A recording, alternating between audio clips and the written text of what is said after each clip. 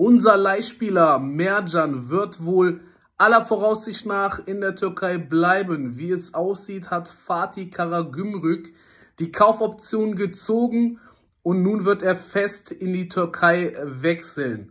Kaufoptionen sind circa 500.000 im Gespräch. Ja, finde ich sehr, sehr gut. Ne? 500.000 können wir gut gebrauchen. Wir planen sowieso nicht mit Merjan. Genau wie mit den ganzen anderen Leihspielern nicht. Es ist sehr, sehr gut, dass wir da früh den Transfer abwickeln konnten. Was ist da deine Meinung dazu?